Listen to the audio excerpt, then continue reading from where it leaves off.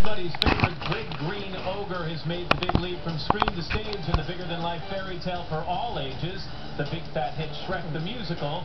This live, lavish comedy, which launches a national tour next summer, tells the story of Shrek's life-changing adventure trying to reclaim the deed to his land. Yeah, and along the journey, Shrek meets a fast-talking donkey, fights a fearsome dragon, and rescues a princess with a mysterious secret. From the Broadway Theater, here's the spectacular cast of Shrek the Musical performing I'm a Believer.